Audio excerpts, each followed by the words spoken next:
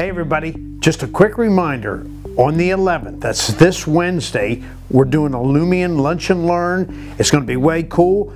Come on in. You don't have to be here at any specific time, but the guys from Lumien are going to be here. They're going to be going through all of their products, some trick stuff here. It's really nice. And here's the most important part. They are, we're raffling off, or they are. They've provided a uh, Yeti cooler and a big screen TV. So I would come in, fill out the paperwork, get your name in the drawing. I mean, the chances are good to win either one or the other and to get an opportunity to see this cool product. Guys, I'm telling you, you can make money with this. First off, you can't find pricing on the internet anywhere. Number two, it is a great quality product that does a fantastic job of lighting.